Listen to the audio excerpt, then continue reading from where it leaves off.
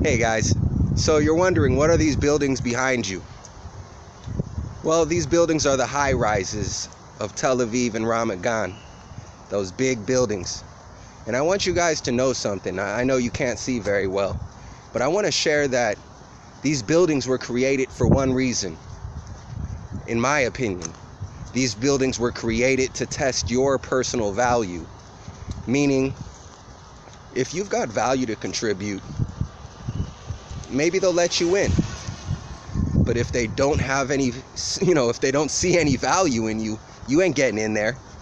They're not going to pay you to sit up in the top of the high rises. So increase your value, learn something new, and grow. Then maybe get in some of those buildings there that are blocked by that tree. You guys have a great night, great day. Take care.